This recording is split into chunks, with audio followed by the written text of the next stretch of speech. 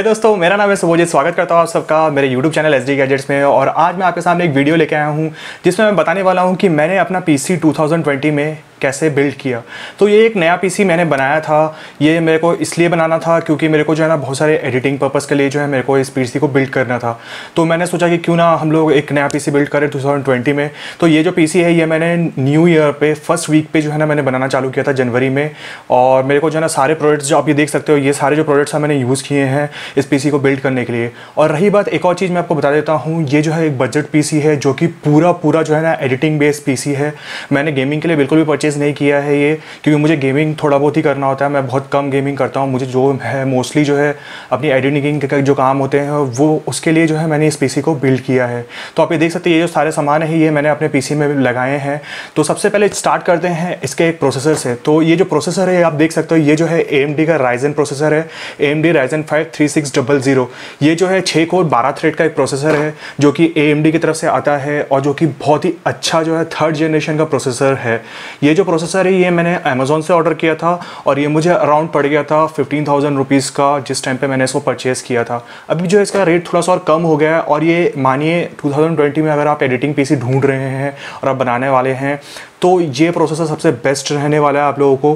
क्योंकि यार, जो गेमिंग के लिए है गेमिंग में दोनों चीज़ें ज़रूरत पड़ती है, एक जी और एक सी और जी जो है, बहुत ज़्यादा इंपॉर्टेंट होता है गेम प्ले के लिए। पर प्रोसेसिंग और एडिटिंग के लिए जो है ना थोड़ा सा केस उल्टा हो जाता है। इसमें जो है मोस्टली जो मोस्टली जो सॉफ्टवेयर्स होते हैं, जैसे कि आपने देखा हुआ प्रीमियर प्रो हो गया, ये जो है मोस्टली डिपेंडेंट होते हैं सी पी यू पे और सी पी यू के थ्रेड्स पे, ठीक है? तो आपका जो सी पी यू है वो दमदार होना चाहिए, आपका जो बोर्ड है वो दमदार होना चाहिए और ग्राफिक कार्ड जो है वो बेसिकली यूज़ होता है हम लोगों के जब हम वीडियो को रेंडर करके प्ले करते हैं। तो प्लेइंग के लिए जो है ना आपका जीपीयू बहुत ज़्यादा इंपॉर्टेंट होता है कि आप जब वीडियो बना रहे हैं और उसको जो है आप प्ले करना चाहते हैं तो जो है जीपीयू का सपोर्ट उसमें होना ज़रूरी है। तो ये तो रही मेरी बात प्रोसेसर की, जो कि Ryzen five three six double zero है। बहुत ही एक अच्छा प्रोसेसर है थर्ड जनरेशन का सेवन नाइनोमीटर जो टेक्नोलॉजी है उस पर वर्क करता है ये। और ठीक है, इसको जो है हम लोग अब साइड में रख लेते हैं और देखते हैं मैंने क्या क्या यूज़ किया है। उसके बाद बात कर लेते हैं सबसे पहले एक मदरबोर्ड की। तो जो मदरबोर्ड है, वो आप ये देख सकते हो, ये है मेरे पास गेमिंग का TUF B four fifty pro gaming motherboard ये जो मदरबोर्ड है, ये मेरे को आसूस जो है बहुत अच्छा लगा था मुझे ये वाला, जब मैं मार्केट में गया था और मुझे ये जो रेट भी इसका बहुत सही मिल गया है। मुझे ये अराउंड जो है सिर्फ़ और सिर्फ़ एट थाउज़ेंड रुपीज़ में मिल गया था एट थाउज़ेंड टू हंड्रेड जो था इसका रेट था और बहुत ही अच्छी डील मिल गई थी मुझे तो मैंने इसको परचेज़ कर लिया। और ये जो है आरजीबी सपोर्ट करता है और एक बहुत ही अच्छा जो है इसके फीचर्स और एस्थेटिक्स जो है बहुत अच्छे हैं। इसमें जो है आर जी बी और सिंह भी वर्क करता है।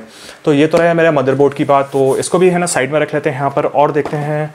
सो अब जो है ना बात कर लेते हैं रैम की तो आप ये देख सकते हो जो रैम है, ये मैंने कोर्सियर का वैंग्रेंस जो है L P X D D F four RAM लिया था, आठ जी बी का एक स्टिक लिया था उस टाइम पे मैंने, क्योंकि मुझे जो है ना, मेरा बजट थोड़ा सा कम था अराउंड फिफ्टी थाउज़ेंड के करीब था। तो ये जो है ना, इसको मेरे को भी अपग्रेड करना पड़ेगा फिर से, क्योंकि यार, अभी जो है थोड़ा सा लैग मुझे समझ में आ रहा है कि यार, एक जो आठ जी बी का स्टिक है, वो काम नहीं करेगा।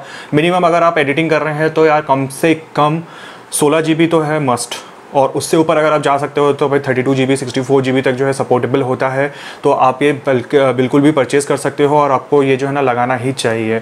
उसके बाद बात कर लेते हैं इस रैम को तो मैं रख देता हूँ साइड में। उसके बाद बात कर लेते हैं एक एसएसडी की तो आप ये देख सकते हो, एक एसएसडी लगाना आपको अपने सिस्टम में बहुत ज़्यादा मस्ट है, जिसमें आप अपना ऑपरेटिंग सिस्टम डालोगे और अपने जितने भी सॉफ्टवेयर है वो डालोगे। तो मैंने जो है WD का green M dot two two two eight zero solid state drive जो है यूज़ किया था। ये जो है एम डॉट टू पे वर्क करता है। ये एन ही तो नहीं है, पर जो है एक साटा वाले जो पोर्ट का जो है, उसका जो है एम डॉट टू है। तो इसमें भी अच्छी खासी स्पीड मिल जाती है। जो बूटअप है, वो आपका बहुत जल्दी हो जाता है। और कोई भी अगर सॉफ्टवेयर आप यूज़ कर रहे हो, वो भी बहुत जल्दी से लोड हो जाता है। और आपका जो काम है ना वर्क फ्लो बहुत ज़्यादा ईजी हो जाता है। तो ये जो है, एक एसएसडी का मैं हमेशा बोलता हूँ, मैंने अपने लैपटॉप में भी अपग्रेड करा है और अपने डेस्कटॉप में भी लगवाया है। तो ये जो है ना 2020 में तो मस्ट है यार कीमत, क्योंकि इनका जो कीमत है वो भी बहुत ज़्यादा कम हो चुका है। जो रेट है वो अराउंड आता है ये 1600 से 1700 रुपए के अंदर आपको जो है ये मिल जाएगा। और अगर आप जाना चाहते हैं टू फिफ्टी वाले वेरियंट पे तो वो जो है आपको ट्वेंटी तक में मिल जाता है मार्केट में।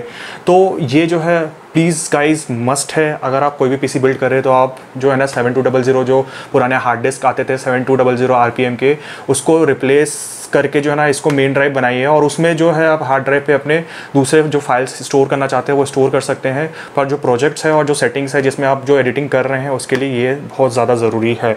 तो ये चीज़ एक मस्ट चीज़ है। उसके बाद मैं अगर बात कर लूँ तो ग्राफिक कार्ड में जो है मैंने ये लिया था गेट फोर्ट का G T one zero five zero क्योंकि एक जो चीज़ मैंने आपको पहले ही बताया वीडियो में कि अगर आप कोई भी बना रहे हैं पीसी तो दो चीज़ों के लिए बना सकते हैं। एक तो गेमिंग के लिए या तो आप अपने प्रोडक्टिविटी के लिए। तो प्रोडक्टिविटी में अगर आप वीडियो एडिटिंग और एंटरिंग करते हैं तो उसमें जो है जी का वर्क इतना ज़्यादा नहीं होता है। मोस्टली जो वर्क होता है सी का होता है।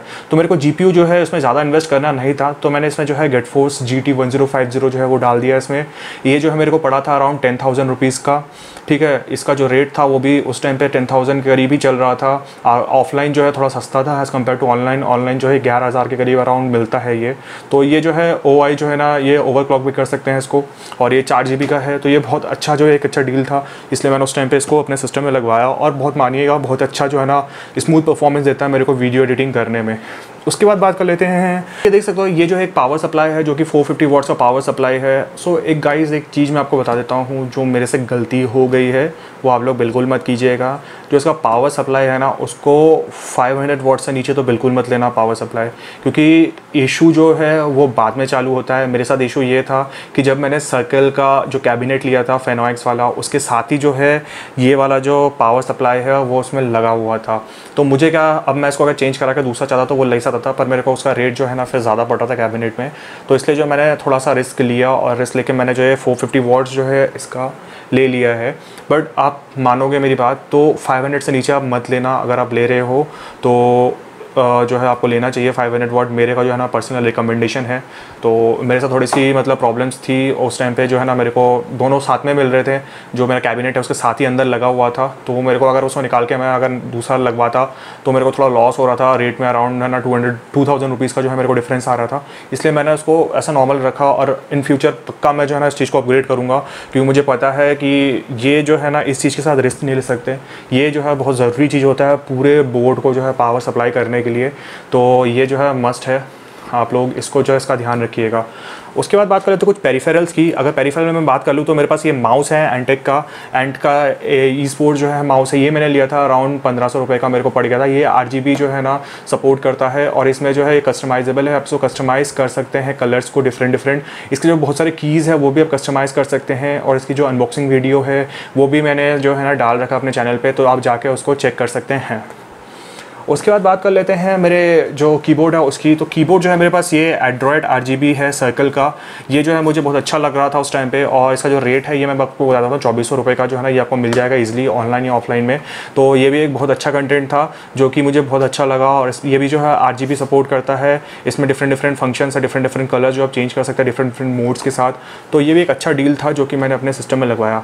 उसके बाद बात कर लेते हैं कि पूरा जो ओवरऑल कॉस्टिंग जो है उसकी तो जो सिस्टम है वो मेरे को टोटल जो है फाइव था फिफ्टी थाउज़ेंड रुपीज़ में जो है ना कंप्लीट हो गया था मेरा ये पूरा सिस्टम और ये जो है इसका परफॉर्मेंस अभी बहुत ज़्यादा अच्छा है। बस जो मैंने आपको बताया, दो चीज़ जो है ना आपको ध्यान रखना है। जब आप रैम ले रहे हैं एडिटिंग पर्पज़ के लिए तो आपको जो है ना उसको जो है सोलह जी तो मिनिमम है ही, है मस्ट है। अगर आपके पास बहुत ही ज़्यादा टाइट बजट है, आपके पास जैसे अमाउंट नहीं हो पा रहा है तो आप एट जी से चालू कर सकते हैं।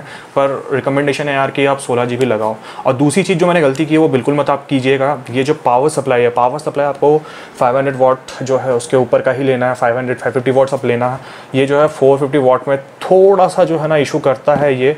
ये चीज़ मुझे पहले समझ में नहीं आती थी जब मेरा नया नया सिस्टम नहीं था। अभी जो है यूज़ कर रहा हूँ मैं इसको तीन चार महीने से तो मुझे समझ में आने लगा है कि थोड़ा सा जो है ये दिक्कत करता है। और इन फ्यूचर अगर आप वाटर कूलर पर अपग्रेड करते हो, अभी तो मैं एयर जो है स्टॉक कूलर जो है उसमें लगा हुआ है तो कोई इशू अभी तक तो मेरे को ज़्यादा हीटिंग की इशू हुई नहीं है क्योंकि गर्मी आई नहीं है। जैसे गर्मी आ जाएगी तो पता चलेगा यार कितना टेम्परेचर जो है बढ़ रहा है।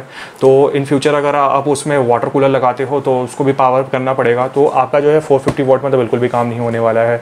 तो ये चीज़ का ध्यान रखना कि जो मैंने मिस्टेक किया है वो आप लोग मत करना। मैं आपको पहले इस वीडियो में बता दे रहा हूँ कि जब भी आप बनवाओगे तो 500 वॉट के ऊपर ही बनवाना। सो so, ये रहे मेरे पूरी पीसी बिल्ड की वीडियो अगर आपको ये वीडियो अच्छा लगा है तो लाइक करिए सब्सक्राइब करिए और बेल आइकन में प्रेस करना बिल्कुल ना भूलिएगा। और आज के लिए इतना ही। Thank you and have a nice day